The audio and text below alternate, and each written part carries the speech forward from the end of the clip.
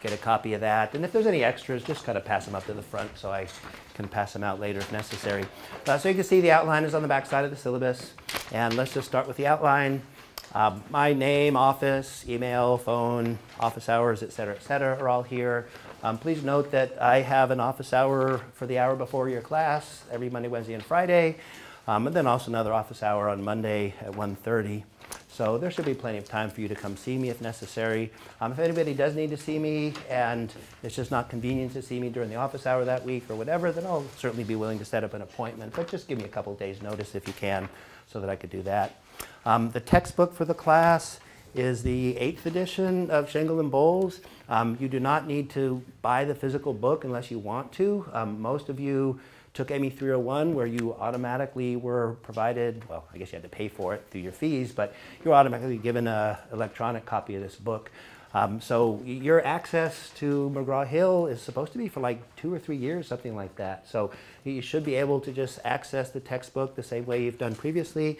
Um, but if you took um, ME 301, let's say more than a year and a half ago, before it was required to buy the electronic version and you just have a hard copy of the book, that's fine.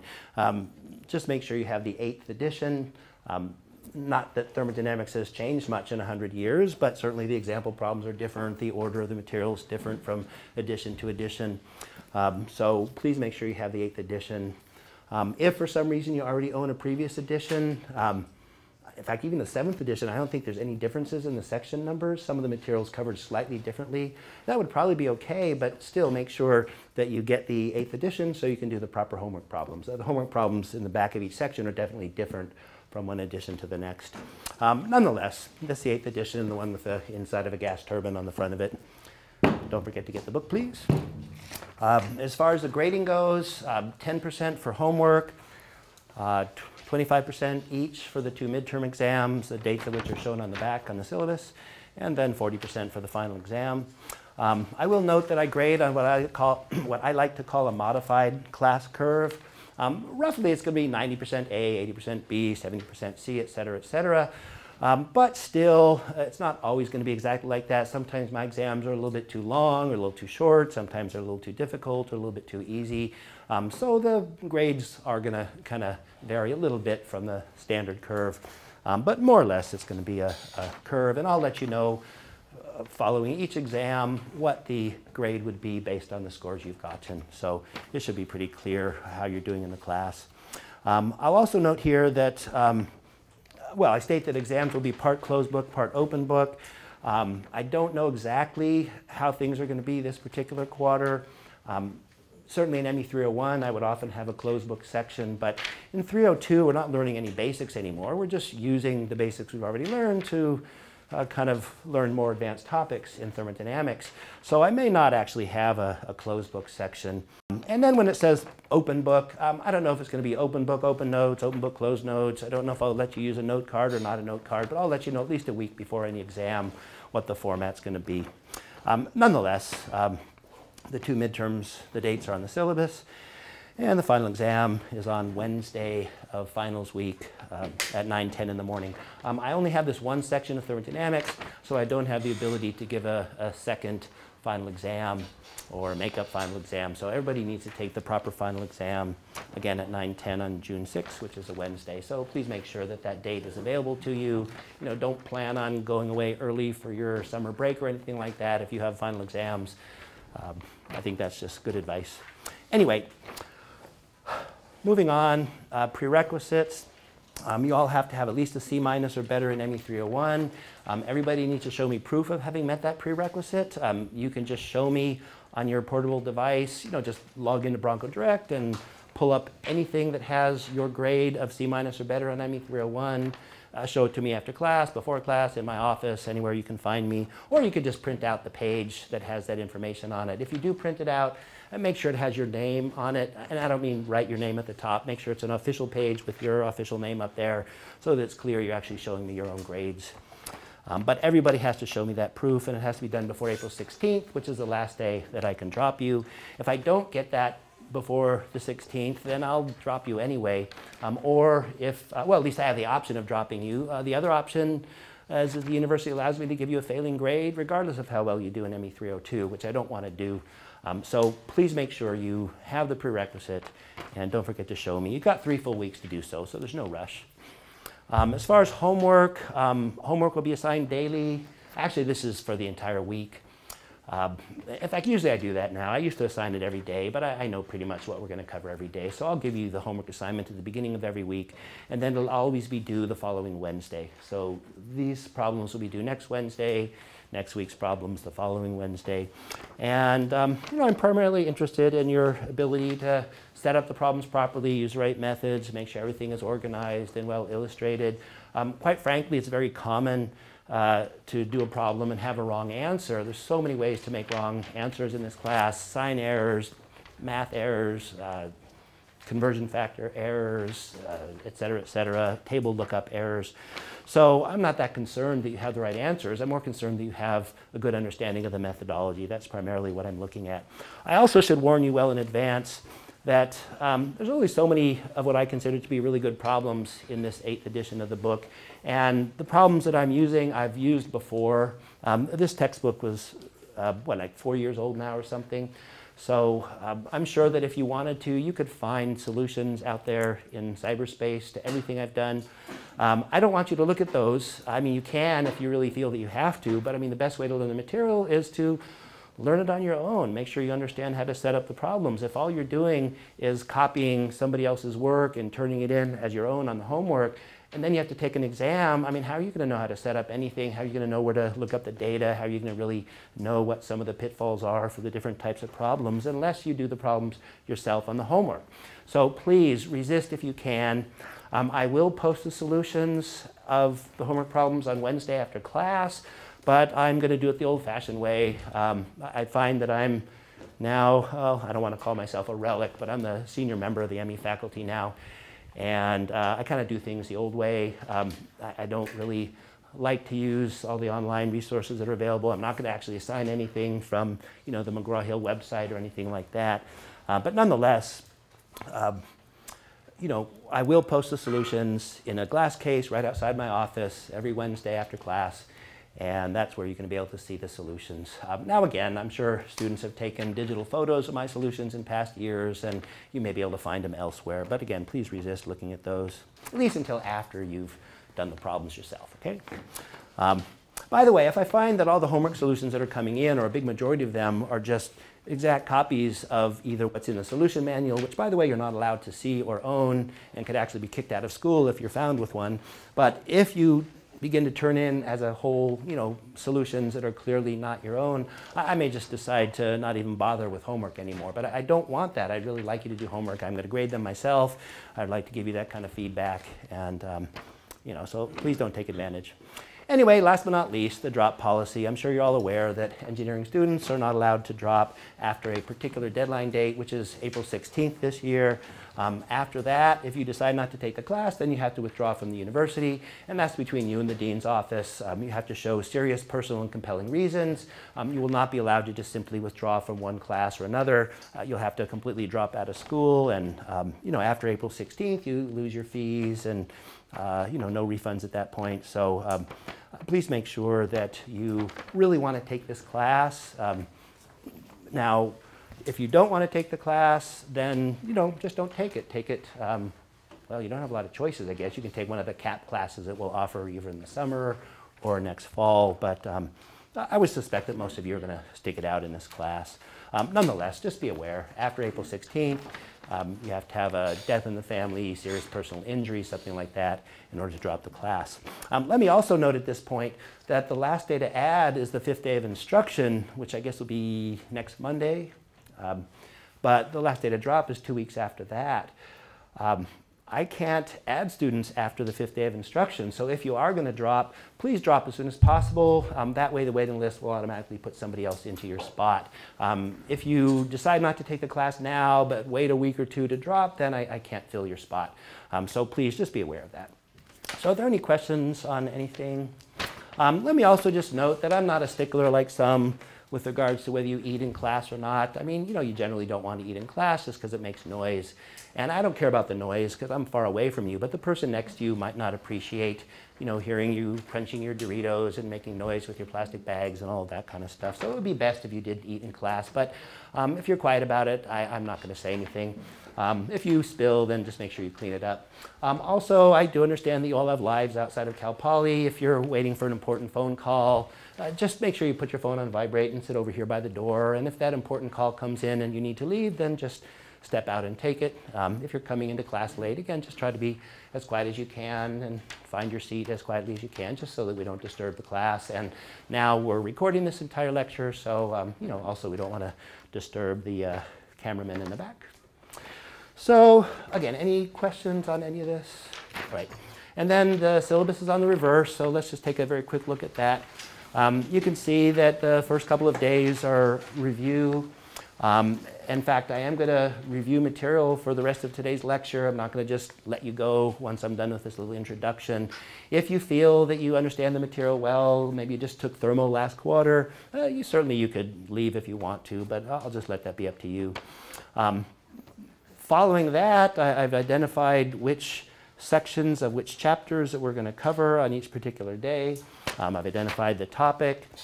And you know, you should know pretty well what we're going to cover any particular day. Uh, I should be sticking with the syllabus pretty accurately. So one thing I would always recommend is perhaps spend 15 or 20 minutes before class um, just reviewing the material in the textbook before you actually get to class and hear my take on the same material. Um, at least if you do that, you'll kind of understand what we're going to be talking about. You'll understand some of the terminology. You'll perhaps have seen some of the notation and heard some of the discussion, or at least read the discussion of that material. I think it'll just make it a little bit easier for everybody to do well. Um, you know, in this particular class. I was wondering, will these be uploaded this quarter or later? Um, I don't know. Um, in ME 301, they were always able to give me the videos within like two days, and then I put them on Blackboard. Um, now, I don't have um, Blackboard set up yet because there's just nothing to put there. But when I start getting these videos, if indeed I do get them, then yeah, I'll put them on Blackboard as soon as I get them. So hopefully they will be available for you. Um, let me also remind everybody that you know the ME department has an online site. Um, we just call it ME Online. Um, you know, it's part of Cal Poly's website, and there's all sorts of example problems there. There's sample lectures for certain material. Um, I would definitely recommend that you look at that and see what material is available to you and uh, you know, perhaps check out some of the sample lectures, uh, check out some of the example problems that have been done. I think that'll help many of you to learn the material. Um, please keep in mind, I don't need to say this because you've all taken 301, this is certainly one of those courses that they warned you about in high school, right, where you'll probably have to spend three or four hours outside of class or every hour inside of class. If you don't have a good 12 to 15 hours a week, you're not going to do as good as you can or do as well as you can in thermodynamics. Uh, you, are just not. You need to do the reading, you need to do the homework problems, you, you need to perhaps discuss things with study partners and really get a good understanding of the material. So if you're thinking that you can just kind of squeak by and do the minimal amount of work, it's very unlikely that that's going to happen. Now, certainly that's your choice, but um, again, I would recommend that you have that time available. If you don't have the time available, then you're just not going to do as well as you can. Um, certainly, everybody wants to get A's. Um, I would hate to have to give C's and D's to students who have the ability to get A's and B's just because they don't have the time to do well in the class. So uh, just consider that a, a kind of a warning or a caution at the beginning of the class. Okay, um, so let me just continue with the introduction, and you can kind of follow along with the syllabus. I just want to identify the main areas that we're going to cover in this class. So first of all, the, the first general area will be cycles. Um, now, in ME 301, you were supposed to have covered the Brayton cycle, um, which is just the first of many gas power cycles that are covered. I guess it's chapter 9 of your textbook.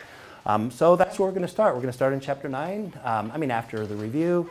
Um, but we're not just going to cover the gas power cycles, uh, we're going to cover other cycles as well. Um, within the category of the gas power cycles, uh, certainly we'll talk about the Brayton cycle, and that will be the emphasis, or at least one of the emphasis of chapter 9. Um, but the Brayton cycle you learned about in ME 301 is just the simple Brayton cycle. And we're going to cover various variations of the Brayton cycle, which you'd see in the real world, which will improve the performance, the efficiency, the power output of a typical gas turbine engine, which is really what the Brayton cycle is all about, right? A jet engine, gas turbine engine, um, sometimes they're called combustion turbine engines. It's all the same thing. These are analyzed using the model we call the Brayton cycle. Nonetheless, we'll cover the Brayton cycle in some detail. Um, we'll also cover a couple of the cycles that are used to um, analyze the performance of an internal combustion engine. Um, we'll look at the Otto cycle, which is a pretty decent um, model of the gasoline engine, and we'll look at the diesel engine, which is a pretty good, maybe fair to pretty good model of the diesel engine. But at least it'll give us the ability to analyze these types of cycles. Um, we'll then look very, very briefly at the Stirling and Ericsson engines, um, or cycles, I should say. Um, you know, I'm not really a big favorite of these. There are really almost none of them out there in commercial service, so I don't really see any point in talking about those Ericsson and Stirling cycles, um, at least not in a lot of detail. Anyway, after the gas power cycles, we'll move on to the Rankine cycle. Um, the Rankine cycle is a steam power plant cycle. So steam power plants are model using the Rankine cycle. Um, we'll look at the simple Rankine cycle, and then we'll look at various variations to the Rankine cycle, as again one would see out in the real world. And then I may even talk a little bit about combined cycles. Um, that's becoming very popular. Um, certainly combined cycles have been around for a long time, but you could run a gas turbine engine and instead of letting the exhaust just shoot up the smokestack, um, run it into a boiler, turn water into steam, and use that steam to run a steam turbine. So you're basically not having to buy any more power or any more heat, any more fuel, if you will, but you're able to get a lot more work output because of the combined gas and steam cycles. So hopefully we'll have a little bit of time to talk about that. And then lastly, we'll talk about refrigeration cycles. Um, we've all covered at least the basics in ME301 of the refrigeration cycle, right? I mean, you covered heat engine cycles. By the way, the Brayton cycle, the Otto cycle, the diesel cycle, the Rankine cycles, those are all heat engines, right? You're putting some heat in and you're getting some work out. Um, but we're also going to be covering the refrigeration cycles, um, but certainly in a lot more detail than what was covered in your ME301 class. So that will be the last, and we'll cover the vapor compression refrigeration cycle, which is really the most common one. That's what you're going to see in all your refrigerators, freezers, air conditioners, ice makers. Um, and we'll also briefly talk about absorption refrigeration cycles, which are used, but only on the large scale for commercial service. Um, actually, the analysis of absorption cycle is really beyond this course, so beyond just a little bit of discussion, uh, we'll move on from that. The second main category, besides cycles, then, is therm thermodynamic property relations. So here is where we're going to start talking about the theoretical relationships that are basically the foundation of all of thermodynamics. Um, we'll start with some general relations. Um, we'll talk about some equations like called the Maxwell equations and Clapeyron equations. Um, we'll look at some of the property relations.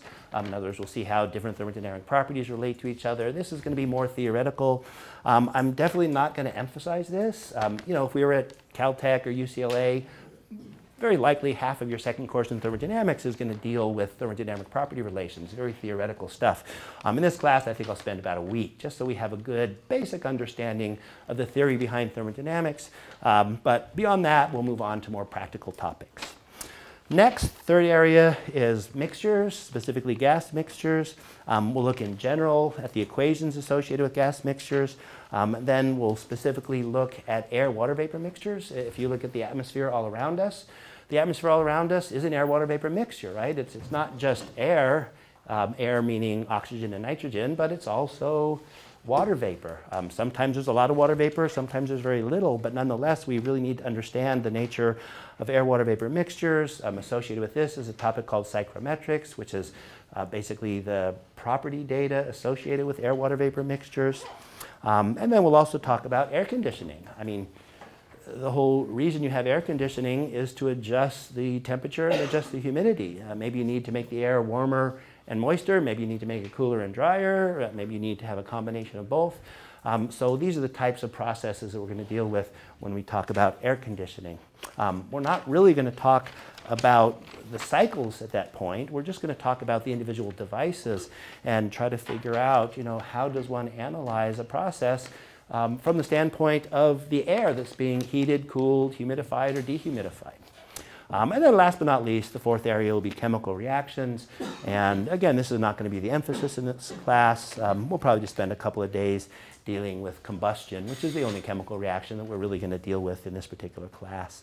So, uh, you know, these are the topics that are identified on the syllabus. And are there any questions on any of that? Good. So, with that, then, I believe it's time for our review. So, um, again, if somebody just feels like they don't need the review, again, now's a good time to go. But um, nonetheless, I'm just going to spend the rest of the day going through some review.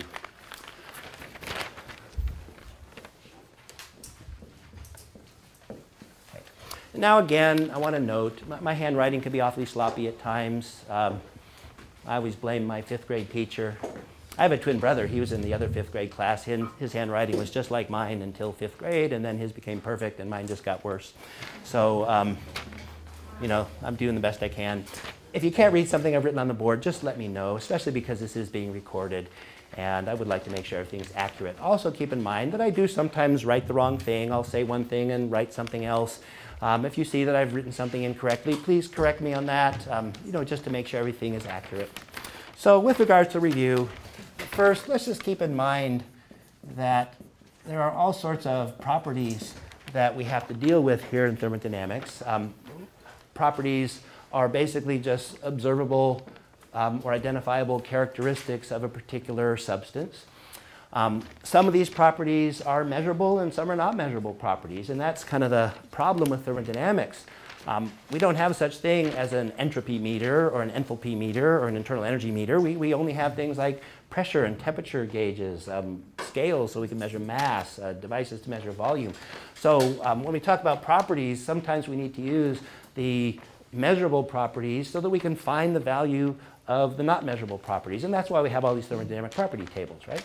Um, you need enthalpy, you need internal energy, you need entropy. You can't measure them, so you use pressure, temperature, specific volume data to get those other properties, right? So the properties that are of interest to us typically will be pressure, temperature, volume. Um, there's also going to be specific volume. Um, please note that I'm trying to show a difference between the capital letter V, which would be the total volume, you know, units of cubic meters, versus the specific volume, which is cubic meters per kilogram, right? Um, note that the specific volume is just the inverse of the density, but um, we're rarely going to use density. Um, the density is certainly an important parameter, but in thermodynamics, we, we always use the inverse of density, right? We use specific volume. So I'm rarely going to even discuss density, but I will always talk about specific volume. Um, we also have internal energy and enthalpy and entropy. Um, and then, of course, we have the specific properties, right? We would have specific internal energy, specific enthalpy, specific entropy. Um, I'm going to try again real hard to make sure that all the variables right on the board are clear. Uh, there's definitely a difference between the total internal energy and the specific internal energy, the total enthalpy and the specific enthalpy. Just keep in mind that these specific properties are really just per unit mass, right? Right. So if we wanted the specific internal energy, it's just the total internal energy over the mass. If we wanted the specific enthalpy, it's just the total enthalpy over the mass. And I'll just put etc. This would also apply to entropy. Um, so these are just the main properties that we're going to deal with. Um,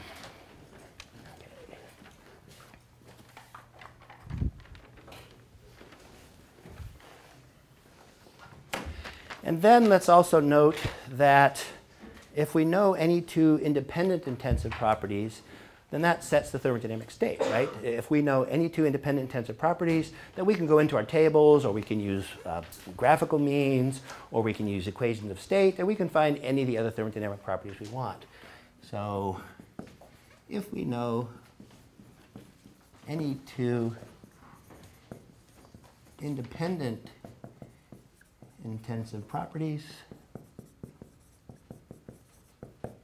no, then we know the state.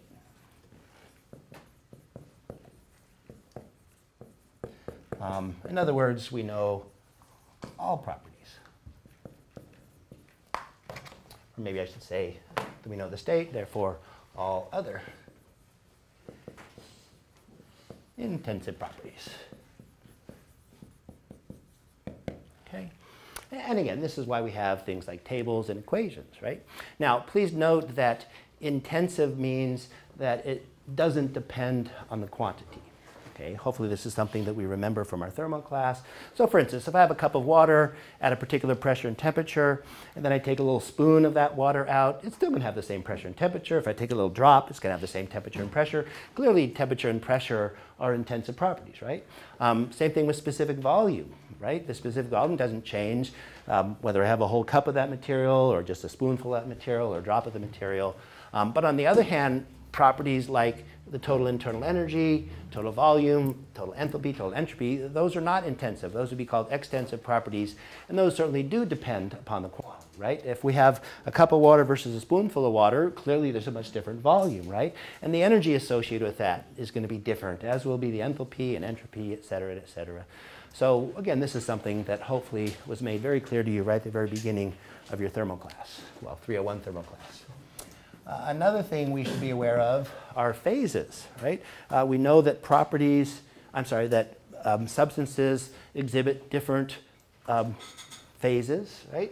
So we could have a liquid, uh, we could have uh, vapor, we could have a solid. Um, sometimes we use the word fluid instead of liquid, but technically a fluid could be a liquid or a gas, so I'm not going to use fluid. Um, vapor, we could also call a gas if we wanted to. A solid, well, it's just a solid. But these are the three phases that we're going to have to deal with as we deal with various processes. Let's keep in mind that um, it's really the liquid and the vapor phase that are of most interest to us. Um, when we deal with any of these cycles that I've mentioned, not the gas power cycle because it's always a gas, but um, the refrigeration cycles, the Rankine cycles, um, those are going to be cycles that at some point in the cycle will be liquids, and at some point in the cycle will be vapors, and at some point in the cycle will actually be a combination of both liquid and vapor. We call that a two-phase mixture, right? So let's just make sure we are aware of the different phases, and certainly the emphasis for many cycles um, is going to be the liquids and the vapors and the mixtures of the two. Okay, so another thing I want to talk about is temperature. So temperature T.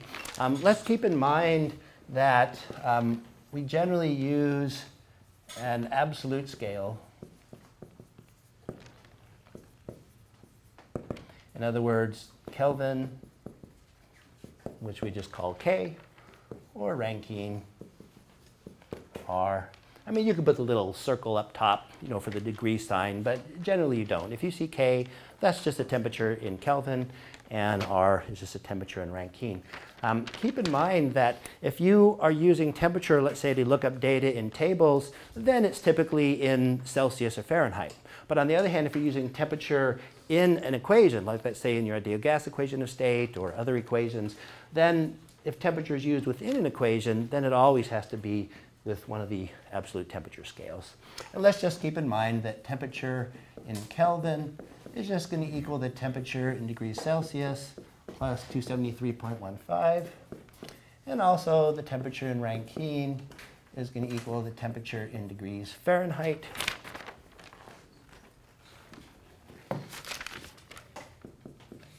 and then plus 459.67. You can certainly round this down to 273 or round this up to 460 if you want to, uh, but these are the official conversions that we would tend to use.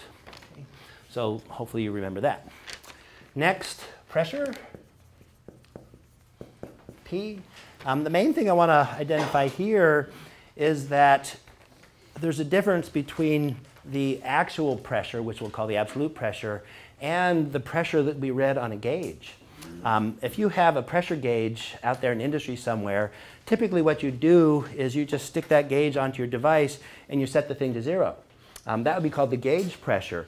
Um, but the gauge pressure is really the pressure above atmospheric pressure. Um, we can't escape from the atmospheric pressure. We've got miles of atmosphere above us.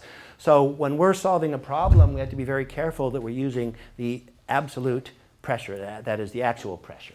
So with regards to pressure, uh, the absolute pressure, which we can also just think of as the actual pressure, is really just the sum of the pressure that's read on the pressure gauge, the one that's basically set to zero at atmospheric conditions, um, and then plus whatever the pressure is in the atmosphere. So the atmospheric pressure, at least in this class, is something that would generally be given to you. Um, out there in the real world, you'll have a barometer on the wall, and you'll just read the atmospheric pressure off the barometer. You'll add to it the pressure that it says on the pressure gauge on the side of your tank, your pipe, whatever, and that's going to be the absolute pressure that you're going to use in problem solving. Okay? So again, this is something you should be aware of. By the way, if they just give you a certain pressure in a problem statement, uh, that's the absolute pressure. Okay, um, you're never going to have to make that conversion. But if the problem specifically says that it's a pressure gauge, um, and then later in the problem they tell you what the atmospheric pressure is, well, then clearly you're going to have to add the two together to get the absolute pressure for use in your problem. Okay. Another property of interest is enthalpy. Okay. So enthalpy is just H, and the enthalpy is really just defined as the internal energy plus the pressure times volume. Um, whenever you see three lines and an equal sign, again, I assume you know this already, but if not, that just means equals, I'm sorry, that just means is defined by. So the way we define enthalpy is simply U plus PV. Um, now, you're never going to actually have to add U plus PV together because, frankly, you're always going to have enthalpy data. And it looks like there's a lot of glare coming in here. So, whoops. Does that help you guys out? Um, good. So if we have a problem that involves enthalpy, I mean, there may be times when we'll have to add U plus PV, but for the most part, we don't. The, the data will be available in our property tables, and we'll just use it as appropriate. Um, let's also note that we can divide this whole thing by mass. Um, the total enthalpy of the mass is the specific enthalpy. The internal energy of the mass is the specific internal energy. And the volume of the mass is the specific volume. So these are both ways that we can write our definition of enthalpy. Okay. Um, and then lastly, let me just note that we are going to use um, both SI as well as as well as British units in this particular class. So make sure you're comfortable with both sets of units. Make sure you read the problem carefully so that you're using the British tables or the SI tables when appropriate. Um, please note also that in the SI system, for the most part, the conversion factors are just identities. In other words, just a bunch of ones. Um, maybe you'll have to convert, say, joules to kilojoules, so you'll have a 10 to the third here and there. Um, in the British units, it's totally different, right? The British units are not very forgiving, so you're going to have to use all these various conversion factors that are in the inside back cover of your book. So please make sure that you know that these exist in the inside back cover of your book. Um, you'll definitely have to use them a lot. So, again, if there's any questions, please let me know.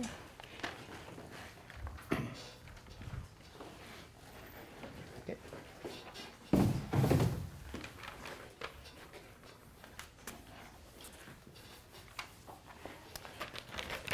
All righty, now let's talk about property data.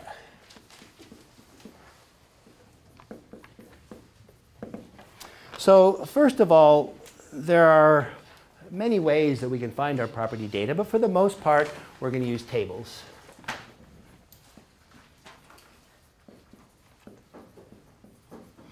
Now, there's only so much space in your textbook, and the author has chosen to pretty much just give you tables for water, water not meaning liquid water, but H2O.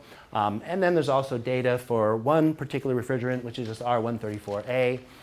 Um, there's other data in the book as well, but those are generally what we're going to be using as we solve problems. I'm not going to give you problems that involve ammonia or propane or any other um, unusual substances.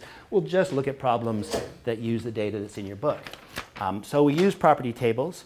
Um, we know that there's actually different types of tables. Um, there's the saturation tables, in other words, the data associated with um, either saturated liquids, saturated vapors, or two phase mixtures. Um, in fact, you might just want to note, for instance, that if we wanted, let's say, uh, let's say plot temperature versus specific volume, you know, we have our characteristic dome, that's our saturation line, if you will. You know, we know that the saturated vapor data is really just the data along the right-hand side of the curve. And we know that the saturated liquid data is just the data along the left-hand side of the curve.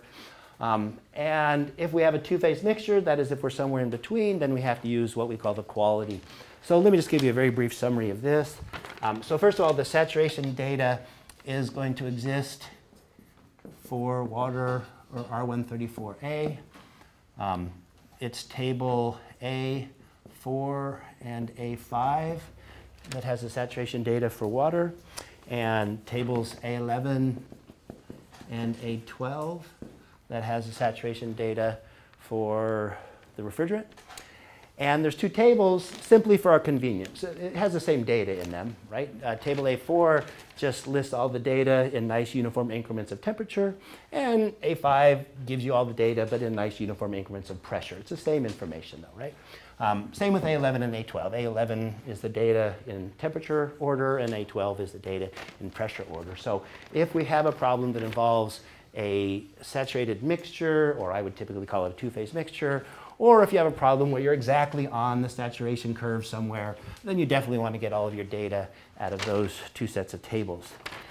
Now, we might also have superheated vapor, right? Over to the right of the saturated line, the saturation curve is our superheat.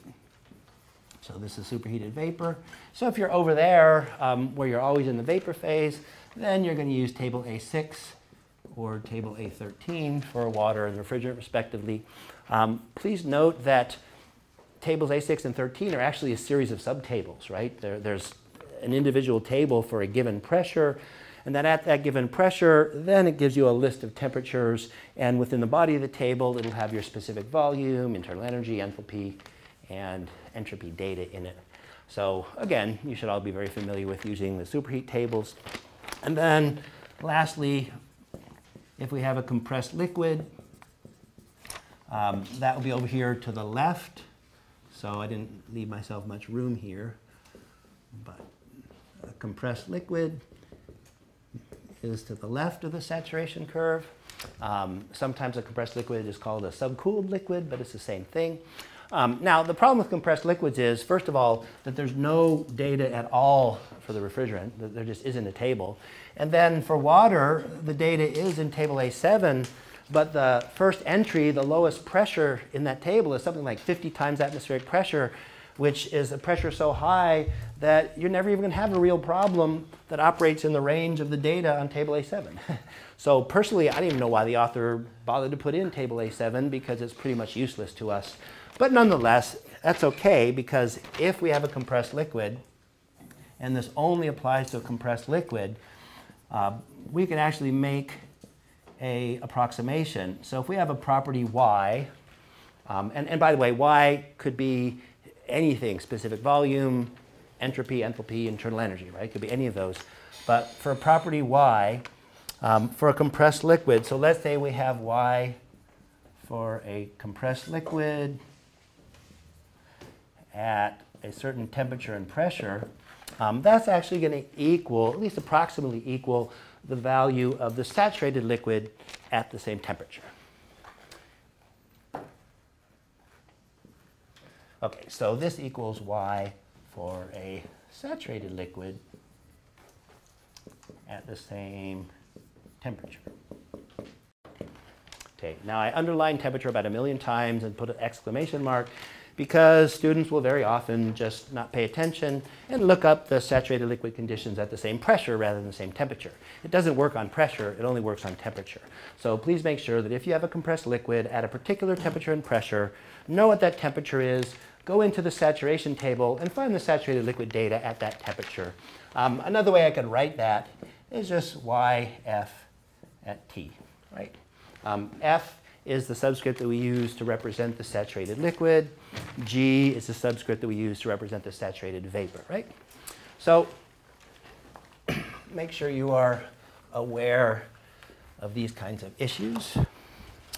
And then I guess I should just note here for any property y, specific volume, enthalpy, internal energy, entropy. Uh, that's what I mean by property y. I just didn't want to have to write out that same equation four separate times. And then what if we have a two-phase mixture?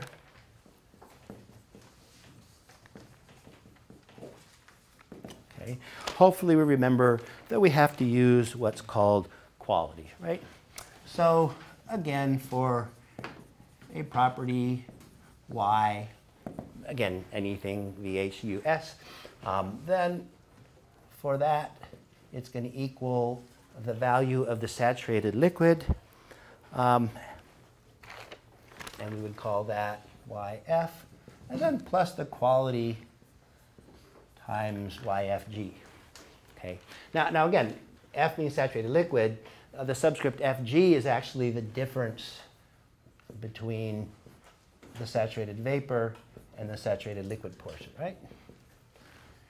So if you look into your tables in the back of the book, specific volume data only gives you the value of the saturated liquid and the value of saturated vapor. So you actually have to physically take the difference between the two to use it in this equation above, right? On the other hand, the internal energy, enthalpy, and entropy, you already have the FG data. Um, it would be called internal energy of evaporation or enthalpy of evaporation or sometimes of vaporization. It's basically the difference between the liquid and the vapor. In other words, what is the difference in internal energy or enthalpy or, or specific volume as we move from the saturated liquid over to the saturated vapor. And that's a vaporization process, right? We start with a liquid, we end with a vapor. So that's why I sometimes call this FG term of vaporization or of evaporation.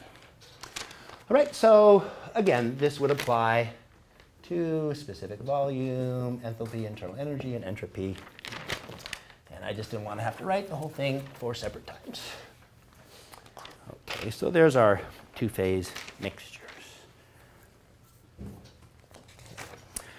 So again, any questions on any of this? Um, yeah. Could you repeat what y sub g and y sub f are? Yeah, um, F represents the saturated liquid, so all the data on the left-hand side is the saturated liquid data. So F means sat liquid, and G represents the saturated vapor. So at any particular temperature, we can go into A4 or A11, or at any particular pressure, we can go into A5 or A12, and you'll see uh, the, the first column will be saturated liquid data, the next column will be saturated vapor data, or in some cases, saturated liquid, then the evaporation, and then the vapor data. Okay. Um, by the way, some books will use L and V instead of F and G. You know, L for liquid, V for vapor. Um, but you know, you can think of F as fluid, liquid, G as gas or vapor, just to make sure that you remember. So that's where those terms come from. Okay. So let's move on. Now, it is possible, instead of using property tables, to actually use um, equations. And we call these equations of state because it relates different thermodynamic properties at the particular state of a particular substance. So these are called equations of state. Now, the only equation of state that we really would like to use on a regular basis um, involves the ideal gas. So the ideal gas equation of state is something that you were all exposed to. Um, there's various forms. Um, that's one form of the ideal gas equation of state. Um, here's another form of the ideal gas equation of state. Um, here's another form, form of the ideal gas equation of state. Um, they're just different ways to relate ideal gases. Now, if you go into your textbook, and I can't even tell you what the page is anymore, um, there's a little test so you can determine whether a gas is an ideal gas or a real gas. But I'm not even going to worry about it in this class. We're generally not going to be dealing with real gases. This is just your second course in thermodynamics, and it's hard enough uh, to understand the basic concepts. So when we deal with gases, we're exclusively going to deal with ideal gases in this class. So don't ever worry about taking that little test. I think it's on page 139, if I'm not mistaken. Um, but don't even worry about that. Just assume that it's an ideal gas and use the methods that will be discussed in class for solving problems involving ideal gases. Nonetheless, these are just different versions of the equation of state. Um, let's keep in mind that R and RU are different, right? R is the um, gas constant um, for a specific, maybe I shouldn't even use the word specific, um, is a gas constant for a given gas. And the data is going to be in table A2. That's where you're going to find the gas constant data. Um, and the data is going to have different units than RU. RU is what we call the universal gas constant. And the universal gas constant is also in the inside back cover of your book with like seven different sets of units. So if you're solving a problem and you need the universal gas constant, again, just go to the inside back cover and choose the term with the right units consistent with the problem that you're trying to solve. And let us note that the only difference between the universal gas constant and the gas constant for a particular gas is its molar mass. If you just simply divide the universal gas constant by the molar mass, then that's going to give you the gas constant. Now, you're never going to have to actually do that. Um, if you have a gas like oxygen, just go into table A2 and look up R. Um, you don't have to. You can go into table A2, look up the molar mass, go into the appendix, look up RU, divide one into the other. I mean, why spend all that time, right? Just look up the value of R. Um, nonetheless, they are going to be different, R and RU. And again, M is our molar mass. When I was in college, we called that molecular weight. I wonder if in chemistry they still call it molecular weight, but nowadays everybody calls it molar mass. I have no idea why there's that change in terminology over the last 30 or so, eh, 40 years now, gosh. And, uh, well, but there is, so. Um, nonetheless, this just is a little bit about gas constants. Okay. Um, another thing that we should be aware of are called specific heats. And specific heats are used in problems that generally involve ideal gases. Okay? So there's actually two of them. Um, there's CP and CV. Um, CP is called specific heat at constant pressure, and CV is named specific heat at constant volume. It has absolutely nothing to do with whether it's a constant pressure or a constant volume process, right? Um, these are simply defined as partial derivatives. Um, the partial derivative of the specific enthalpy with respect to temperature holding the pressure constant is what we call specific heat at constant pressure. And the partial derivative of, of specific internal energy with respect to temperature holding the volume, well, really specific volume constant, is what we call specific heat at constant volume. So you can see why we call them at constant pressure and at constant volume. It has to do with the way we take the partial derivatives. Um, right? If we take the partial at a constant pressure, it's called specific heat at constant pressure. If we take the partial at constant volume, it's called specific heat at constant volume. That's really all there is to it. We're never actually going to take these partials, right? Um, just find the data. Um, the data is also in table A2, and that's where you're going to find your information. So, um, any questions? Now, we do use this a lot. Um, oh, I think I lost my cameraman, and he's pointing it that way. So I guess I can make funny faces over here now, right? Nobody will know. Um, well, I'll try to behave. All right, so one thing we use specific heats for a lot is for problems that involve ideal gases. So let's continue here with ideal gases. So for ideal gases, um, we would note that the enthalpy is a very strong function of temperature, but a very weak function of pressure um, and specific volume. And the same with internal energy. It's a very strong function of temperature, but not really a strong function of volume or pressure. So we could actually make the approximation that dH is going to be approximately equal to Cp dt, and du is going to be approximately equal to CVDT. That this was hopefully derived and explained to you in your thermo class, well, your first thermo class. So once we have these, then for most problems, we're trying to find a change, right? Um, we have a process that begins at state point one and ends at state point two. Um, or maybe it's a steady flow process where we enter a device at state point one and leave at state point two.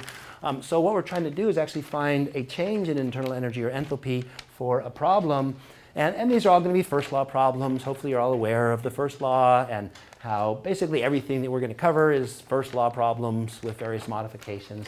But nonetheless, um, we could then find an enthalpy change or an internal energy change uh, simply by integrating over temperature, right? Um, again, CP and CV are really only strong functions of temperature and nothing else. So the integral from T1 to T2 of Cp dt is how we find our enthalpy change. And our integral from T1 to T2 of Cv dt is how we find our internal energy change. Okay. Um, now, are we ever going to actually have to take this integral? No. I mean, we could. We can go into table, I guess it's A2 part C, where it gives you a polynomial equation that relates um, CP, or it- it'll show you how, but it'll also relate CV to temperature. Um, and you could plug it in, and you can do the integral. I mean, it's simple. It's a polynomial. Um, but we don't need to do that. Um, we have um, easier ways to take care of that. And you know that's something that we'll be talking about eventually, but not quite yet. Um, nonetheless, let's move on.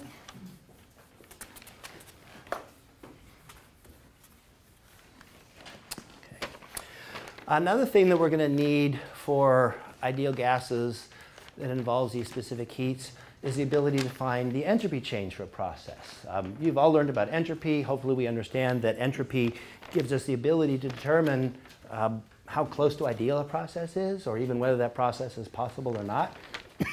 That's what entropy is all about. so, we would have found in your thermo class that the entropy change can be found this way.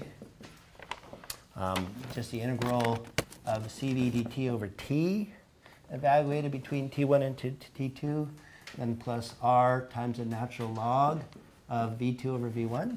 And those are specific volumes.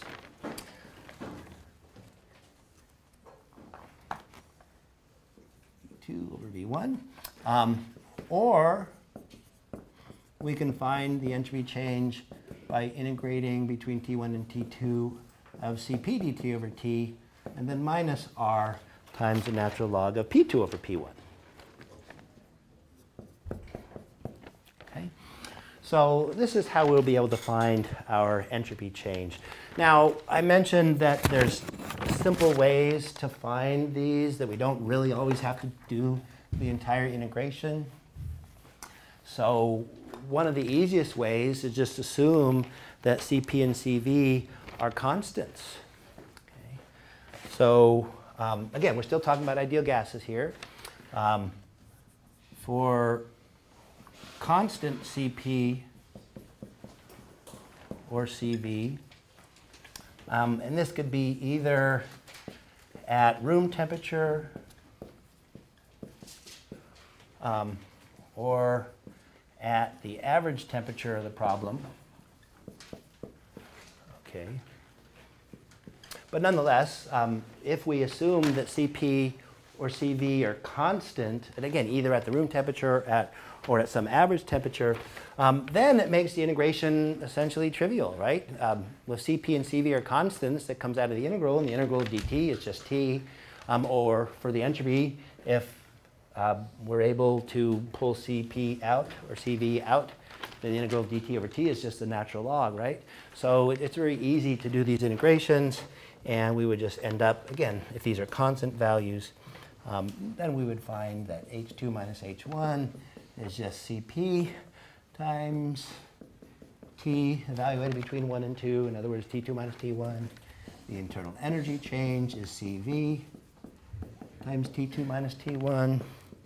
The entropy change is going to be CV times the natural log of T2 over T1 plus R natural log V2 over V1 or CP times the natural log T2 over T1 minus R natural log P2 over P1. So certainly, if we're solving a problem that involves an ideal gas, the easiest thing for us to do is to just assume that Cp or Cv are constant, and then we end up with these nice simple equations. Okay? Now, we're not always or only going to be looking at the situations where Cp and Cv are constant. Okay? There will be other situations where we will assume that Cp and Cv are variable. Um, and, you know, we'll start talking about that here in just a moment. Well, actually, I only have a few moments left, so actually, it's about the first thing we'll cover on Wednesday. Um, by the way, um, even though I'm calling this review, even on Wednesday is review, um, when we start talking about variable specific heat, it is something that in my thermo class, my 301 class, we specifically did not talk about variable specific heats. Um, in other words, specific heats that are functions of temperature. Um, so we are going to talk about that on Wednesday. So it's, it's not entirely review day, maybe for many of you, but, but certainly not all of you.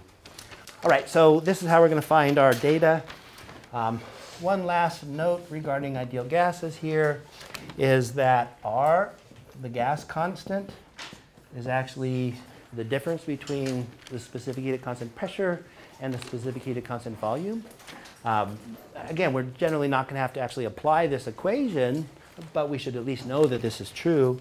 And then let's also note that for many problems involving ideal gases, we're going to need to know the ratio of Cp over Cv, and we call that ratio K.